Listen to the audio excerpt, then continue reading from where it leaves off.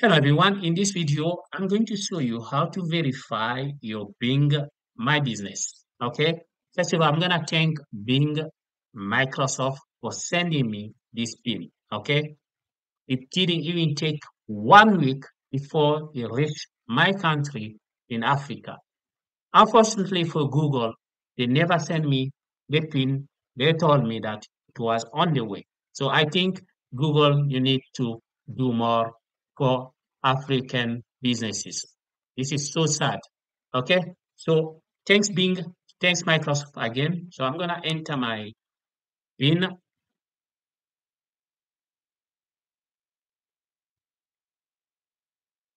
I'm gonna click verify. As you can see here, verification successfully. Congratulations, your business is now verified. So very simple.